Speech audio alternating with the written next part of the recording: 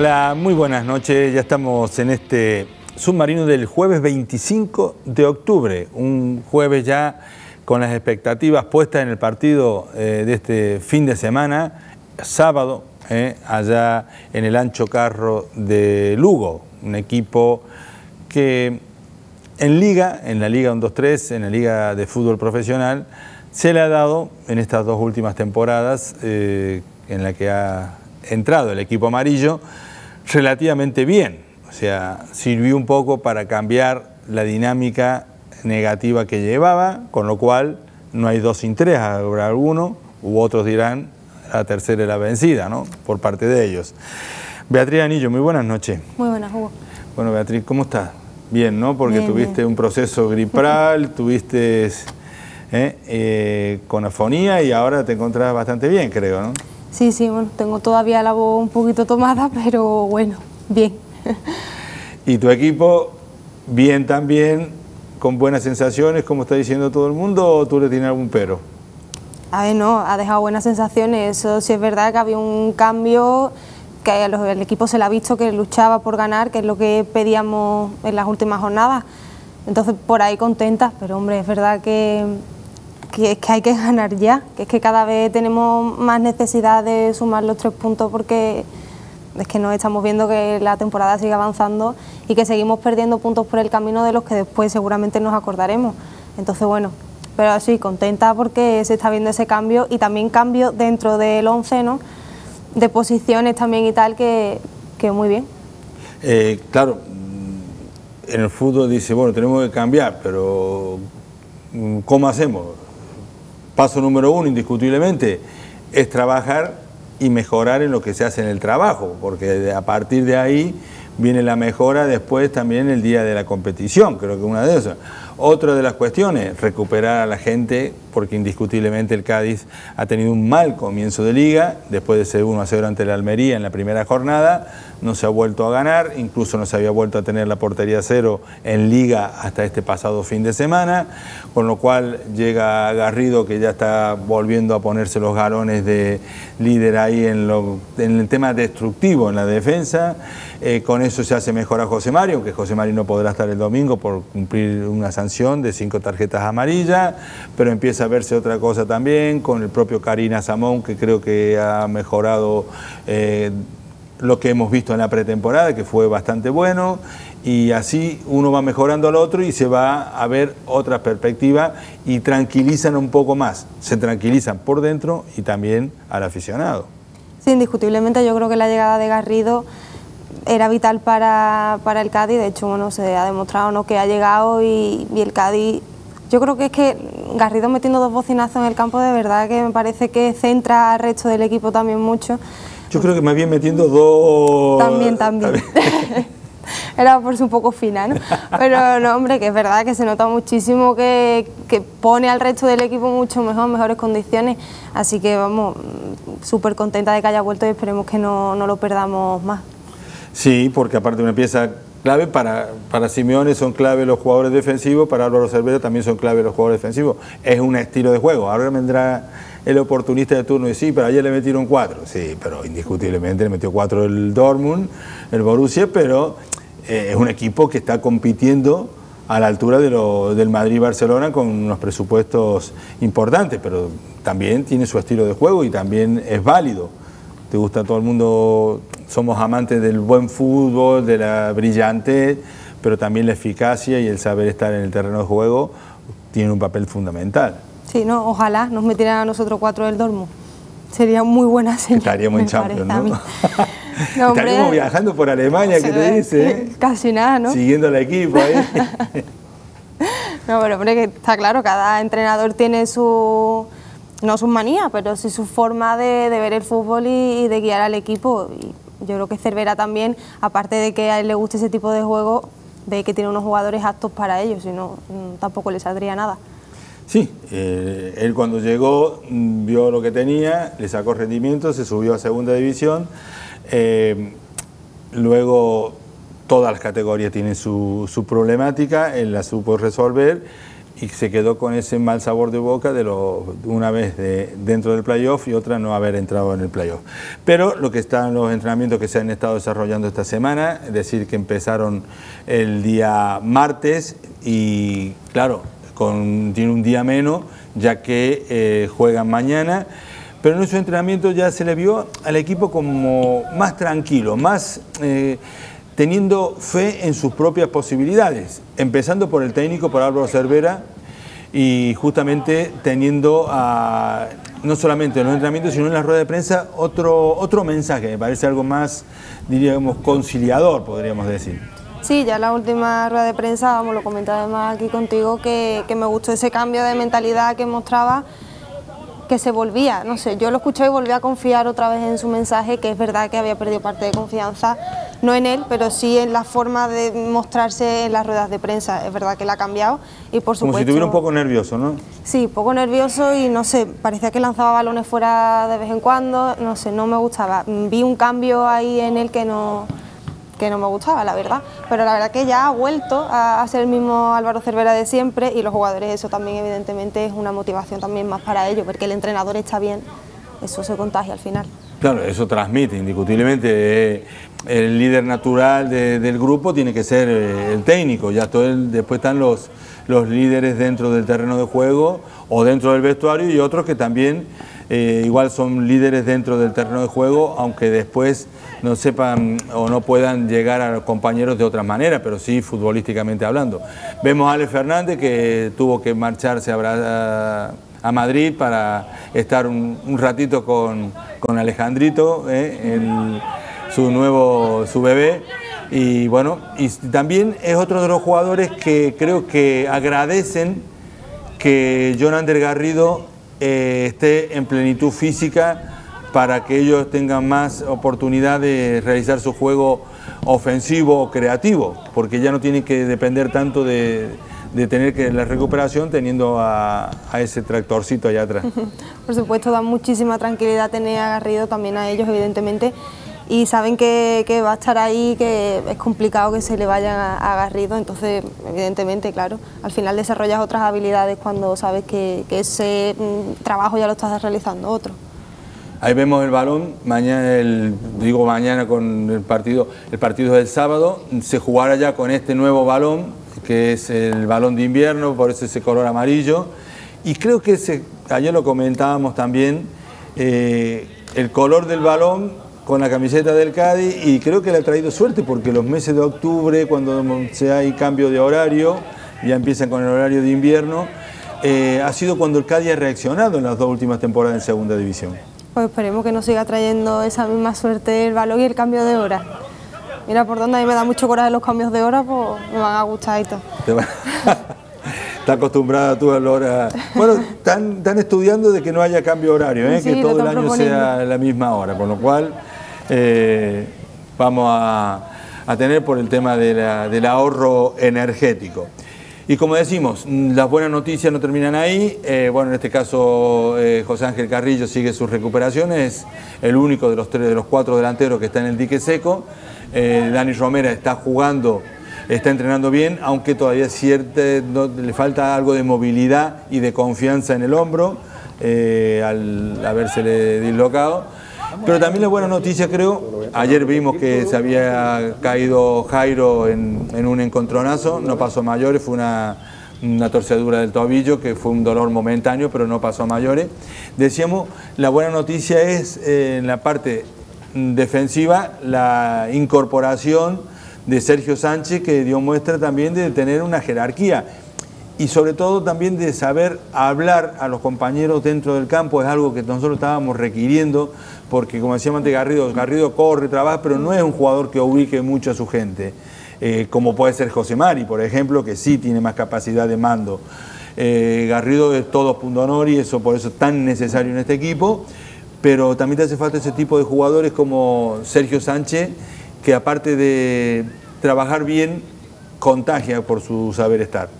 Sí, vamos, está claro que necesitamos gente así dentro de, del campo porque es eso, hay veces que los jugadores, a veces lo hablamos ¿no? en la misma grada, ¿no? que decimos, bueno, ¿cómo es posible que ningún compañero le esté diciendo a ese chaval que tiene uno detrás que pues bueno, está bien que tengamos jugadores que, que sepan comunicarse al final en el campo porque es muy importante.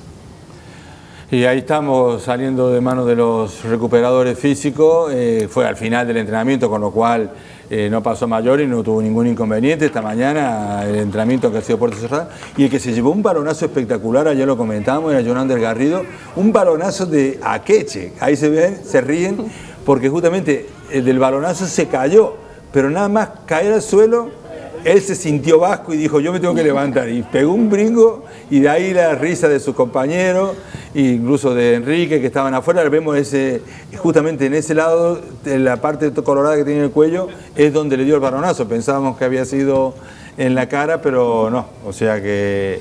De vasco a vasco, no me querría ver yo ahí en esa situación. No, pero aparte dijo, ahí también hablamos lo de Servando que estuvo viendo a sus compañeros en entrenamiento, pero la, broma de, de John Ander, que está perfectamente identificado ya incluso con el carácter de andaluz o gaditano más concretamente, porque nada más eh, va a ser eso, yo soy vasco, dijo así, como diciendo yo soy fuerte, soy poderoso, indiscutiblemente lo es y y también es otro de los síntomas del buen ambiente. Y aquí estamos viendo justamente algo, vea que a ti te, te gusta eh, del Cádiz B, que es que los chicos que están en el primer equipo siguen teniendo contacto una vez que terminan su entrenamiento con sus ex compañeros, en el caso de Manu, y con sus compañeros en el caso de eh, Sergio González y del portero eh, Cristian Arco por supuesto, eh, siempre es bueno que haya ese contacto porque además ellos mismos son los que van a contagiar también a los chavales del filial a que sigan luchando, a que no se vengan abajo si no cuentan con el entrenador en algún momento, lo que sea, y que vean que hay posibilidades reales de, jugar en la primera plantilla, que yo creo que es algo que, que los motiva mucho y, y, que el Cádiz no estaba aprovechando hasta, hasta este año, vaya.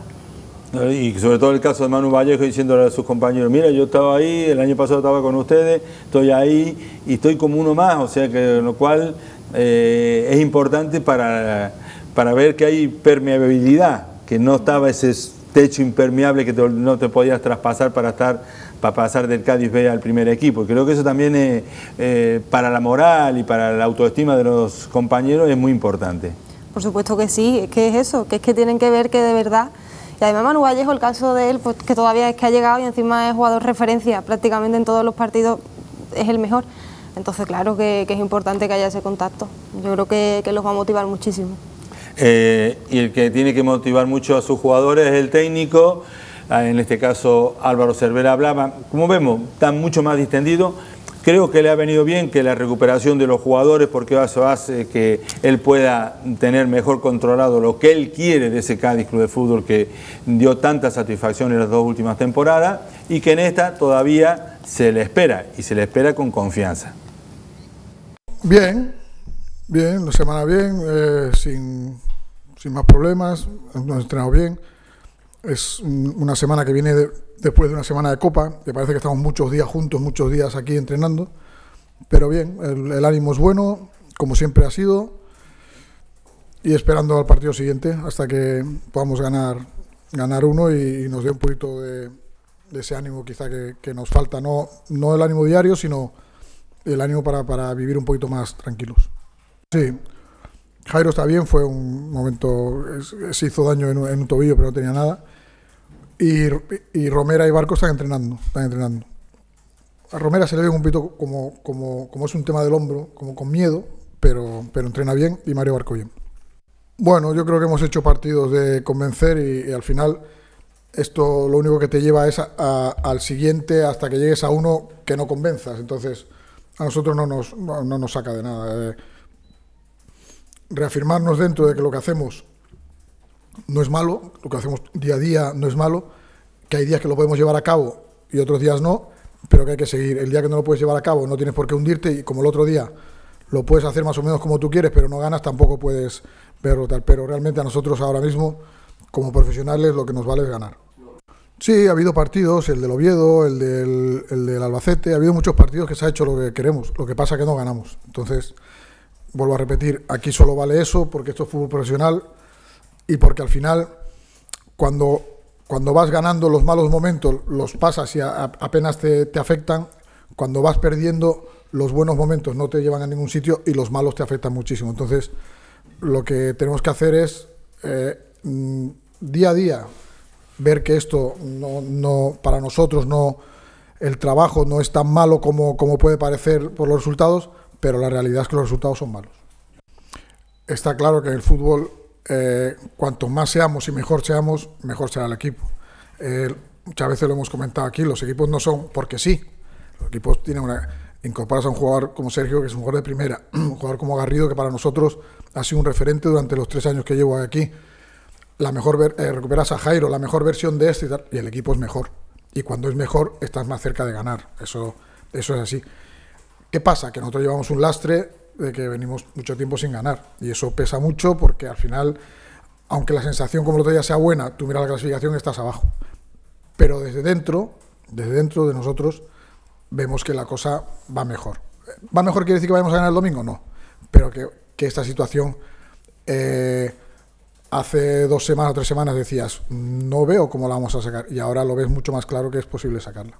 Mm, el problema que nosotros hemos tenido eh, en el juego y estadísticamente, que hemos tenido un, problema muy gordo en, en, goles por, por, por, la banda derecha del equipo contrario, la banda izquierda nuestra en defensa, lo intentamos solucionar con cambio de jugador, a ver si, si, si era que, que, Brian es muy ofensivo y el otro podía ser, y veíamos que se lo íbamos teniendo. Jugó en, en Zaragoza, no estuvo mal. Eh, dar un cambio como hemos hecho en muchas otras posiciones. Simplemente eso. Que les veo con, con las mismas ganas que el primer día de que esto salga bien, de que esto lo hacen por ellos, por el de al lado, por el cuerpo técnico, por, por la gente, por que sigo viendo que creen que lo pueden sacar. Y en los partidos que salen igual, que en ningún momento yo he visto al equipo, como puedes ver algunas veces, algunos equipos que, que están falto de ideas, que todo lo que le pasa le pasa en contra. Este es un equipo que está abajo, pero sigue haciendo las cosas dentro de lo que puede medianamente bien. Y eso es lo que te da, lo que te da ilusión de que, de, que esto va a salir adelante. No, no, veo un equipo deshecho ahora mismo.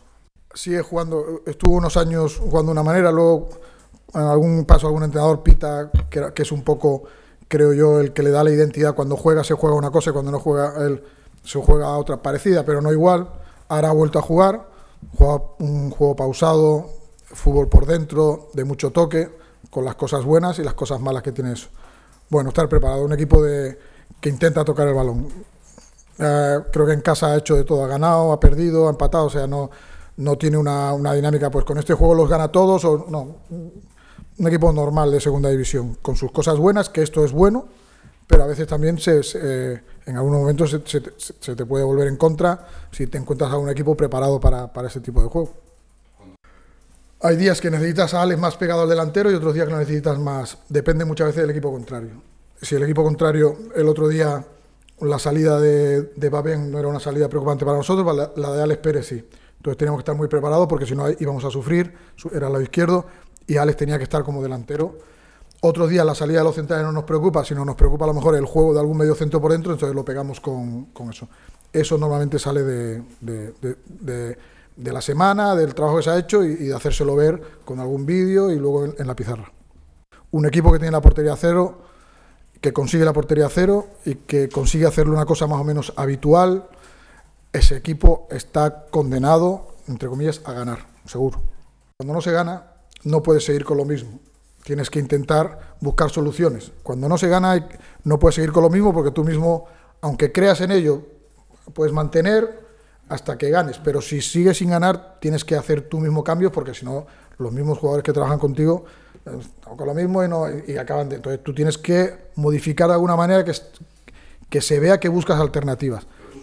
No, yo estaba hablando con Oscar a diario y yo estoy de acuerdo en lo que él, en, lo que él comentó conmigo. Se ha intentado hasta el final y fichar por fichar no era, no era la solución se podía haber traído a alguien, pero por traer no, no era la solución.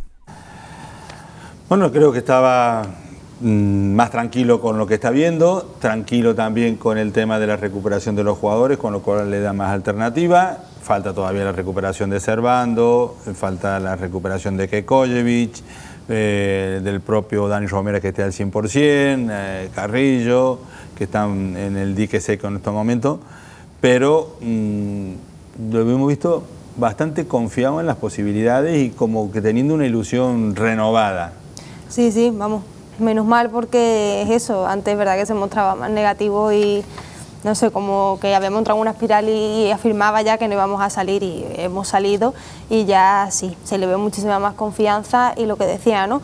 Eh, hacer cambios para que se vea ¿no? que está buscando alternativas, tampoco lo estábamos viendo al principio y ya sí, por fin ya después de Copa, yo creo que en Copa también sirvió ese partido para ver características de jugadores para esos cambios, ¿no?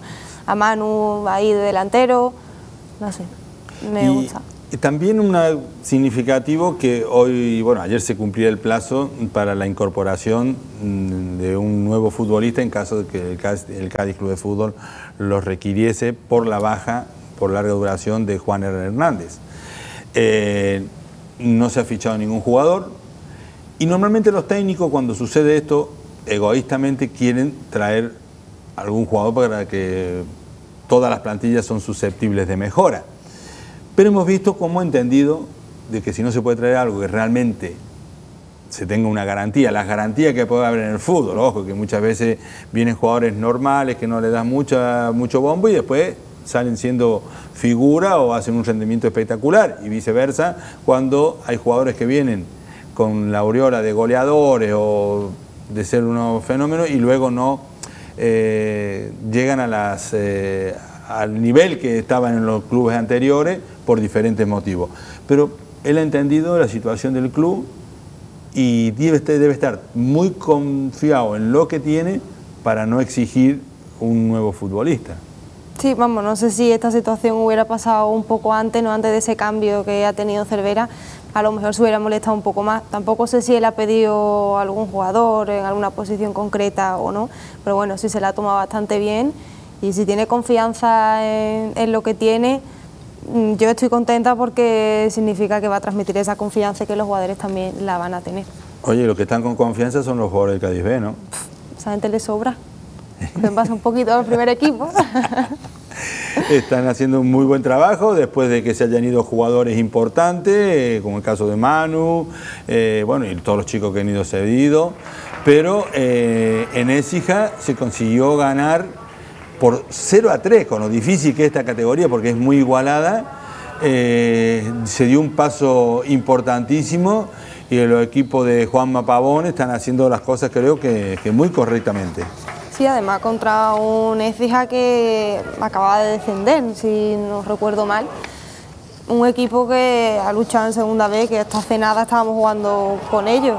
Y no sé, yo imaginaba que el partido se le iba a complicar más al Cádiz B aunque es verdad que por clasificación ellos tenían la mitad de puntos o algo así. Eh, vimos a Peter justamente, otro de los referentes, eh, ahora que tiene más protagonismo, se fue Manu Vallejo, se fueron David Toro, eh, Cedido, y justamente está aprovechando muchísimo esos minutos que le está dando de titular el técnico. Sí, además es un jugador que siempre está dispuesto, o sea, siempre intenta llegar, no es el típico que tú lo veas que Si ve que hay alguna posibilidad por remota que sea, va. Sí, un jugador aparte muy fuerte físicamente. Eh, un día lo hemos visto eh, haciendo recuperación en la piscina que hay en la instalación deportiva de Rosal y tiene un físico espectacular, o sea, es todo, todo fibra y eso le permite trabajar, ir al choque también, porque no es de una talla demasiado alta, como el caso de Saturday, el central del Cádiz B. Y aquí vemos como otro referente, otro chico que está haciendo las cosas muy bien, ya lleva bastante temporada, como es Duarte. Sí, la verdad. ¿Es tu favorito, uno de tus favoritos, Duarte? Sí. ¿Futbolísticamente? sí, sí, del Cádiz B, sí, la verdad. La verdad es que muy buenos jugadores y los que estaban el año pasado se les nota que siguen mejorando y los nuevos que han traído también están dando la cara y poco a poco seguro que también siguen mejorando. Después, eh, también la buena noticia que Seth Airam eh, ya está recuperado de esas lesiones, un jugador que ha tenido bastantes lesiones y bueno, y entrar, eh, y cinco minutos después de entrar, conseguir materializar el tercer tanto que le da confianza, lo hace que sus compañeros también tengan confianza en él y que tenga que también luchar el puesto con Peque, con Chapela Eh, bueno, ya son los tres mediocentros que ya son habituales. Hay cuatro para tres puestos porque está Duarte, está Sergio González, Jordi Tour y también está Javi Pérez, que es otro de los referentes y uno de los capitanes de, la, de este Cadibé. Joven, con algunos nombres nuevos, pero que se han incrustado con los más veteranos y está haciendo las cosas muy bien. ¿eh? Sí, la verdad es que teníamos esa, no miedo, pero sí esa incertidumbre de ver qué va a pasar ahora con los cambios que ha habido. La verdad que están dando respuestas geniales. Sí, aparte que era complicado porque el año pasado se quedó campeón. Mm, ahora mismo con esa aureola hay equipos muy importantes en el grupo décimo de tercera división, posiblemente sea uno de los más fuertes de los de 18 creo que hay en la categoría, no sé cuántos grupos son de, tercera división, sí, 18 creo que son. Eh, donde siempre el grupo décimo se ha caracterizado por ser uno de los referentes de la, tercera y, quedar campeón de, en el grupo décimo es lo mismo que quedar campeón en otros grupos que son mucho más eh, fáciles o más asequibles. Sí, no, vamos, la verdad que, está súper orgulloso del filial que tenemos, que seguro que siguen saliendo jugadores de, ahí y vamos, muy contenta de verdad y por supuesto que la gente que, los apoye porque hombre, encima de que están haciendo buena temporada, por lo menos que, vean ese afecto y ese cariño ¿no? de parte de la afición. Un tironcito de oreja ¿no? para los que van a rozar. En momento, es verdad que hubo momentos como muy álgidos como fue esos playos de ascenso y ahí se llenó la instalación deportiva de Rosal y otras veces nos vemos casi que en vez de los jugadores, en vez de saludar del centro del campo, le dan la mano a los aficionados, ¿no? Aunque le quede un poquito lejos allá arriba. Sí, pero vamos, podrían subir en un momento, tampoco hay tanta gente. Pues nada, o sea, feliz porque el Cádiz está bien y el primer equipo está en una buena Está mejorando, está mejorando. Está mejorando. Nos quedamos con eso, Beatriz. Por supuesto. Muchísimas gracias por tu presencia. Y nosotros nos vamos hasta mañana con más Submarino Amarillo. Tenemos la previa del partido del Club Deportivo Lugo del próximo sábado. Con lo cual, quiero que pasen una muy, pero muy buena noche. Hasta luego.